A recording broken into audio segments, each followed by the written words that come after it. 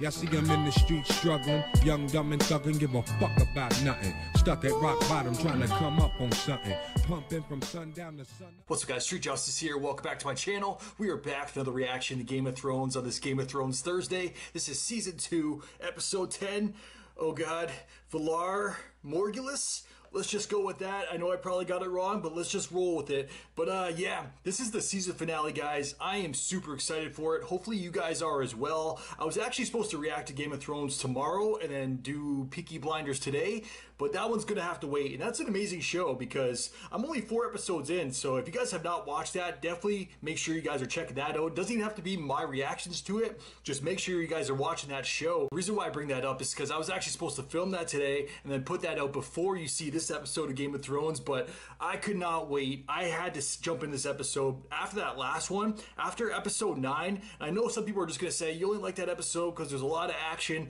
Yeah, there's a lot of action, but they built up to it. That's the reason why it had so much impact as well. I'm hype right now. I don't know if you guys can tell, but yeah, ever since the death of basically King Robert, they've been building up to that attack from Stannis, and now he's actually here. A lot went down last episode. I'm sure you guys already checked it out if you're here right now. You've already saw my recap.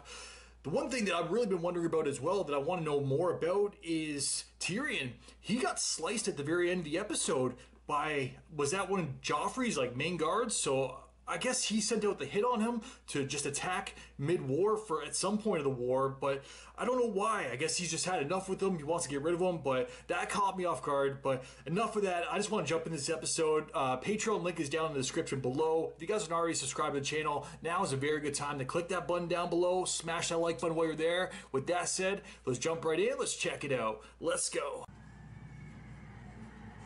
Tyrion. Lord, what happened? The murderer and traitor Stannis Baratheon suffered a stunning defeat at the hands of your father. These are your new chambers. A little cramped, perhaps, but you don't need much room, do you? You are no longer a hand of the king. Yo, he went above and beyond. For your trouble. That's all he gets? Somebody throw that at Joffrey. Do hereby proclaim my grandfather, Tywin Lannister, the savior of the city and the hand of the king. What a legend. Lord Petyr Baelish, step forward for your good service and ingenuity in uniting the houses of Lannister and Tyrell. I declare that you shall be granted the castle of Harrenhal. So that's what I was confused about. I guess he was responsible for merging the houses. If your family would ask anything of me, ask it, and it shall be yours. I have come to love you from afar. Tales of your courage and wisdom have never been far from my ears. She did say she wants and to be those the tales have queen. taken root deep inside of me. Ooh, they're macking It in front of an honor everyone. To return your love. But I am promised to another. For the good of the realm, your counselors beg you to set Sansa Stark aside. The gods are good. I'm free to heed my heart. Where does this leave her now? I would like you to tell me if working for Lord Baelish has been all you'd hoped it would be. I think your true talents are wasted on them. You're very kind, my lord. Allow me to return the favor. To know who you are. And, unlike your current employer, I protect those who work for me. You're a virgin, I take. These two. Look. So initially I thought she was bringing him back to King Robb, but Taller than all the boys. I guess this is still Cat's plan. Ah, they lay with lions. What's your business here? Traveling a prisoner. Yeah, they're dead men. Where are you taking him? To Riverrun? Why, Riverrun? Steal from the Tullys, it's their dungeons you rot in. Why not kill him? For stealing the pig? He's playing along. What do you think of these beauties? I hope you gave them quick deaths. Two of them we did, yeah. I do know you. Uh-oh. What's his name? One. Two. Slice.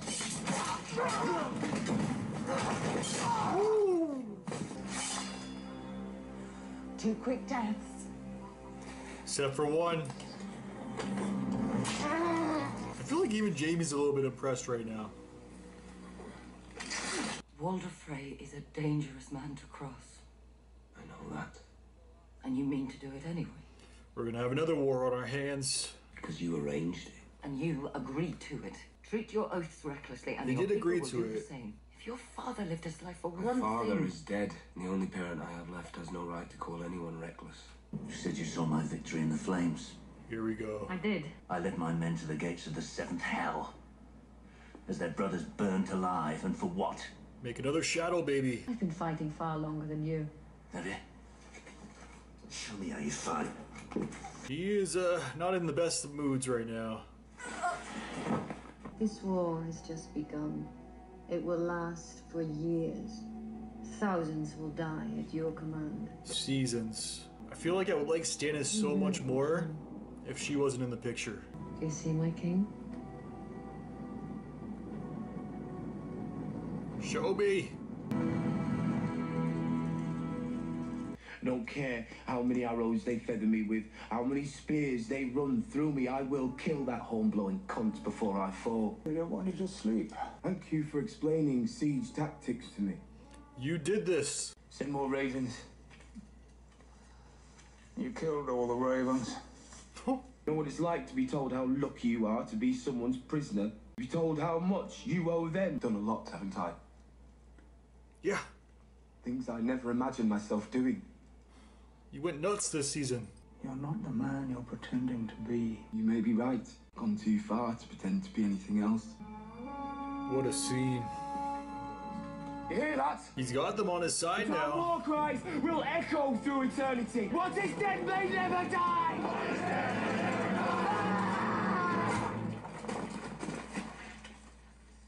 The Thought fuck? I'd never shut up. It's a good speech. Didn't want to interrupt. What? What are you doing? No! Let's go home. For fuck's sakes. There are many who know that without you, this city faced certain defeat. The king won't give you any honors. The histories won't mention you. That we will not forget. Oh, ah! I'm a monster, as well as a dwarf. Are you going to leave? You have a ship memory. I am yours, and you are mine. Gonna make me tear up here. Sides of the seven, I'm a big fan of love and loyalty. you These two souls. So this is like a secret wedding in the woods. She looked different from that angle. At first I was like, is that her? Don't go too far. And she's gone. Now Arya's on the run. I forgot about this. This story arc. What are you doing here? Waiting for you. Show me how. I want to be able to do it too. If you would learn, you must come with me. Where? Far and away across the narrow sea to Braavos. My dancing master was from Braavos. To be a dancing master is a special thing, but to be a faceless man? That is something else entirely. I want to, but I can't. Yeah. What is it? If the day comes when you must find me again, just give that coin to any man from Braavos and say these words to him. Valar Morghulis. Valar Morghulis. Valar Morghulis. Say it again. Valar Morghulis. Valar Morghulis.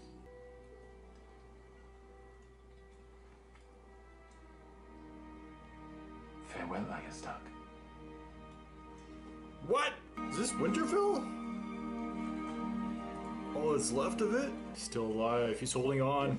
They burned everything. Not everything. Not you. Go now with Hodor. Go on. I'll be right here. You must protect them. You're the only one who can. Wants her to end it. She's on like a vision quest right now. Oh shit! Look who's back. It's cool to see Khal Drogo return. Take the chains off them. They want to be with you. Do you want to be with them? You will be. Your dragons were born. Our magic was born again. It is strongest in their presence. And they are strongest in yours. You gonna keep her there with them? Winter, summer, until time comes to an end. Ooh, they're like staring him down. Dracarys. He's not even shook.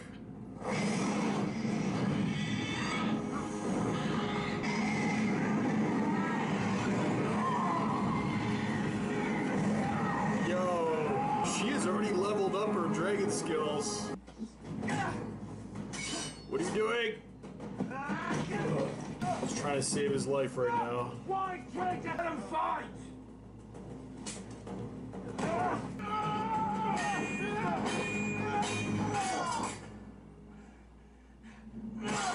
Oh! Oh yeah, they'll watch it on the wall. You could tell, Mans.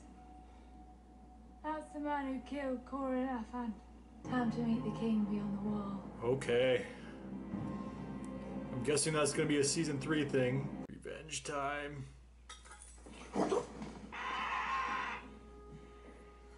It's over.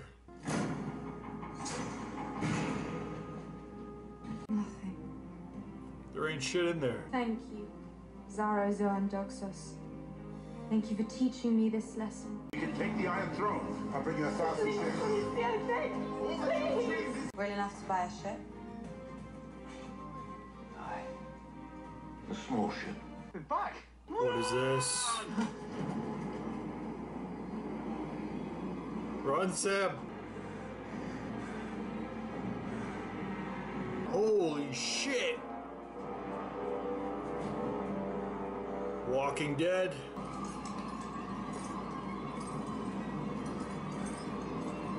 Wow.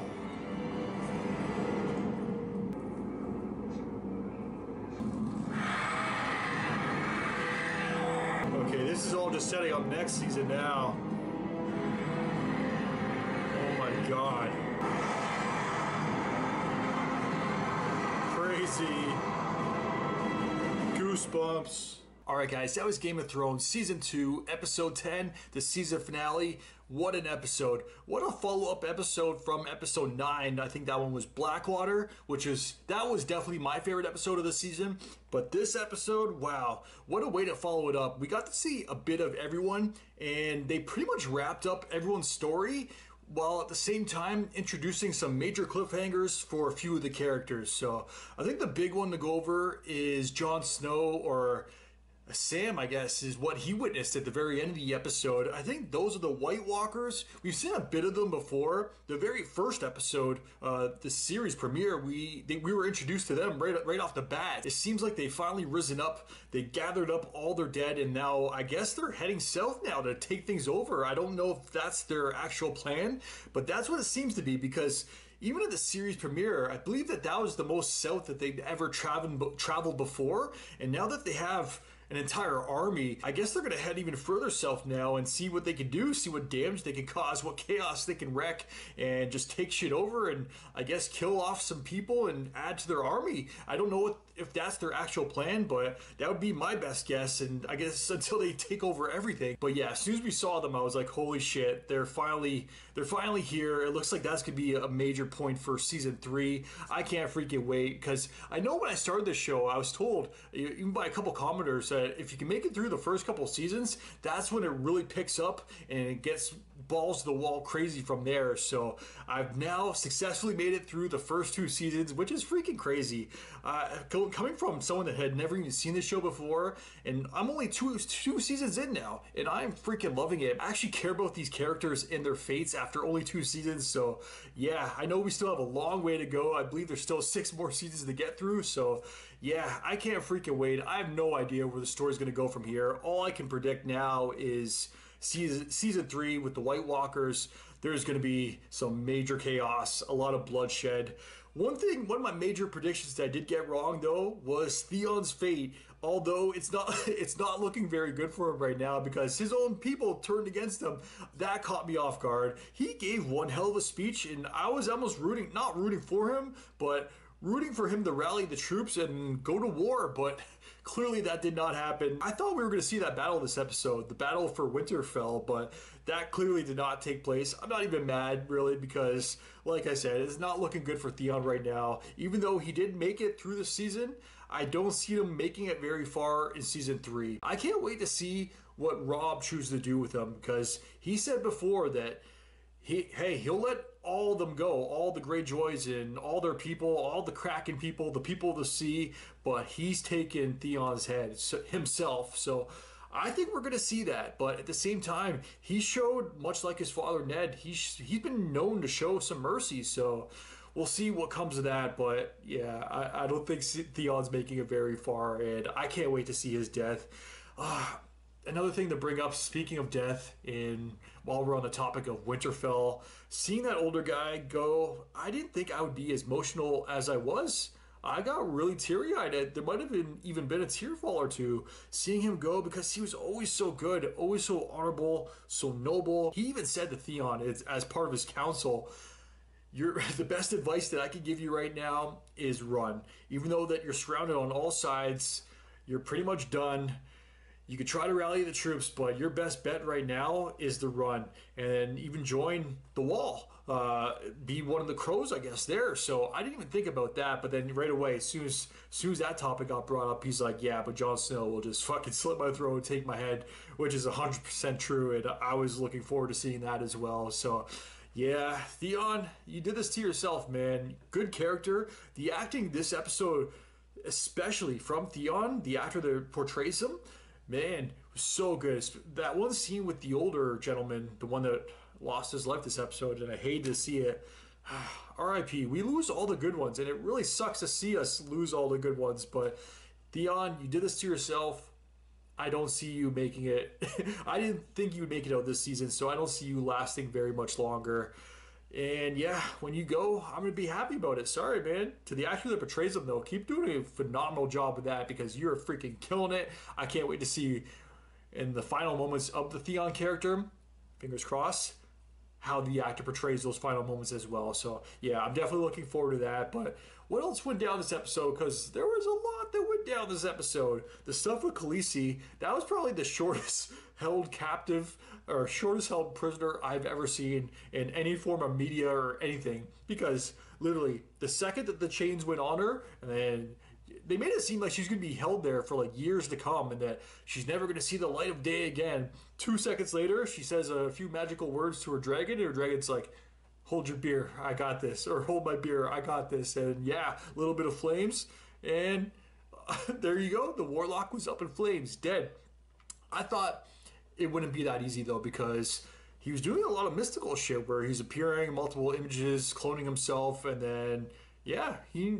I guess the dragon knew which one was real right off the bat, or I guess the warlock was too brazen where he didn't even want to do like an image of him. He was just appearing the real version of himself right then and there, and yeah, up in flames. It almost seemed too easy. I didn't get the other guy's name, the one that wanted to wed uh, Khaleesi, but when he was caught in bed at the end as well with one of Khaleesi's girls, the Dothraki girls, man, that was that was brutal. Like, what did she expect to when she's begging for her life at the end? But it was so nice to see them get put in the vault. The one that was oh the the promise that he was making to Khaleesi, you could have all the treasures of the world, everything that's more valuable than anything is behind this door, and it can all be yours, or half of it can be yours as long as you marry me. And there was nothing there. So it was very nice to see. I know it sounds bad, but it was very nice to see them get put in the vault. And yeah, they're gonna die in there. So that that's what you get though. Like we see so many of the good people in the show go. It's nice to see some of the bad people get their comeuppance. I guess that's the best way to put it. And then, yeah, I'm looking at the actual episode title right now. Man, I, I can't say it as well as him and Arya were saying it, but Valar Margulis, Margulis, Margulis, there's an R in there. So, yeah, that whole scene was pretty cool seeing Arya free. And I even brought this up, I think, two episodes ago, once he killed the guards and let them escape. Um, I didn't like the fact that she, or that he didn't owe her any more favors, because I really liked him having her back. That's two seasons now where she's had some very cool mentors. And do you know what? She actually brought up that I guess he's from the same place as her initial like dance sparring instructor. So Hmm, I'm wondering if we never actually saw him die in season one, right? Could he still be out there? Because if he has capabilities the same as that guy, man, I can't wait to see them both again. I think he lives. I think the dance instructor or the sword instructor, I think he's still around. I could be wrong. That's another prediction, though. Take that one to the bank. That's my new prediction. We shall see, though. But that was very cool. And then, yeah, his face changed at the end instantly. I don't know if you guys have ever played the game Fallout 4 but there's a character in that game. Uh, I don't know if I want to say spoiler. It's not really a spoiler though. It doesn't ruin the story, but there's a character. I'm not going to say his name, but he changes his face all the time as well, and is like always watching. So yeah, it kind of reminded me of that, but it's not as instant. That guy like has surgeries and shit to change his appearance. This episode, Mr. Villar, he just boom, he turned his head and he was somebody else. Like that was freaking crazy. So, yeah, I, I do like that he really does have Arya's back though, and he, even invited her like, "Do you want to train with me? Like learn this, learn the ways." The man with no face, or I, I don't know the exact dialogue, but the fact that he put, gave her an offer to let let her come with him, it sucked that she had to refuse. Though I did like that he he made the offer though because it shows that he thinks she's pretty cool too. So I'm sure we're going to be seeing more of him. I hope we see more of that actor though that that portrayed him because with his face change, hopefully he changes his face back because that actor was pretty freaking cool.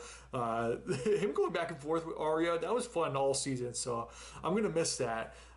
who knows what season three is going to bring? I, I don't want to make too too many more predictions until I actually see the premiere of season three. But yeah, this was another very good season. I'm trying to run through all the stuff we saw. This I don't know if this reaction is going to be longer than usual or not we'll see how the editing goes at the at the very end. But yeah, the stuff with Tyrion too. I don't think I've really discussed him much, but Tyrion, he's in a bit of a bad place. I feel like he kind of came out of it a little bit though, but it just sucks because he gave so much when he was in the role of Hand the King this season.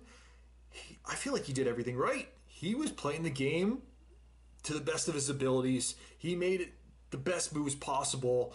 He did everything in regards to what he had to work with. He made it work. He even led the, the freaking army at one point, and I don't know why his father is not rewarding him. I know, like, he's kind of like his the bastard son himself, not an actual bastard, but being a dwarf and whatnot. So he's always been looked down upon, no pun intended, from his father. Yeah, I don't. You think his father would appreciate what he did a little bit more though, because he, he's shown that he's capable. So that upset me. Or is it really coming from Joffrey? I, I don't know. It's really upsetting though. But the fact that Shae still stood by his side, I really love that. Like that almost brought tears to my eyes. I even said it in, in the reaction. Love and loyalty, those are two things that I appreciate in this world. So seeing those characters, two characters that I've really come to care about. I didn't think I would care so much about Shae, and that's something I think I brought up. Was it last reaction or two two reactions ago? Her fate. I'm worried about her fate because Cersei. Once Cersei finds out that that's Tyrion's real love and not the redheaded girl, yeah, I, I don't know what's going to come of that. I, I, I still fear for her safety. I just want her to run away with Tyrion, but Tyrion said it himself, he can't. So that was some interesting stuff. Man, so much went down this episode. And then the stuff with Sansa or Sansa. Joffrey's got a new queen, the one that Renly's girl, the one that said, I want to be the queen, the queen it came back into play. That's why I'm so glad that I included that one that one line in the reaction previously. And when I don't know what episode that she actually said it, but I'm glad that I included it. But now that I, bring that up, where is that one pirate? Though I know a lot of you guys gave me shit. The one pirate that I said that wants to rape Cersei. Don't freak out in the comments, guys. Um, where was he? Because I thought he was going to be a major part of Stannis's invasion, but yeah, we haven't seen him since, unless he just got blown up in that wildfire stuff. But I know he kind of had a small role. We haven't seen him since, but I thought we would see more of him. So that was interesting. But on the topic of Stannis as well, yeah, that fire priestess that he's still with, he's seeing the visions in the in the flames now. So I don't know if it's like a fire cult though. She's got him so wrapped up in her ways that I, I don't like her at all. Hopefully she get her she gets hers at some point because he came to the realization like I killed my own brother for this for you. And what it what did it get me? Like we didn't even win this battle, but she's saying this is just one battle. There's more wars to come, so we're gonna see what's what damage Stannis does in season three. Uh, King Robb got married this episode as well. That secret wedding in the woods. So that's going to lead to some drama because obviously he had promised, or Cat and him had promised that other house that he was going to wed one of their daughters. So I'm sure that's going to be a major drama point of season three. That's probably going to be part of his story arc. Oh, also the stuff with uh, Brienne and Jaime, they're still out there. I'm sure by this, um, that's that's another prediction I'll make. Is season three premiere? He's probably gonna finally make it back to King's Landing, make it back to his family. It sucks that the entire Lannister family is gonna reunite before we see the Starks reunite or what's left of them. Ah craziness. I'm sure I'm forgetting some stuff, guys, but a lot went down this episode, so please forgive me. As always, definitely let me know your guys' thoughts in the comments down below. If you guys can like, subscribe, really helps my channel grow. Until next time, I am out. Enjoy your day. Peace. Why didn't smoke enough for you? Didn't drink enough for you? Wasn't full enough for you? Wasn't good enough for you? Damn, you play me like a yo-yo and shit. Well, I'm not the one to be yo-yo, and when you put that shit on me, then I watch you leave. Let you back me. Drag me along for a week.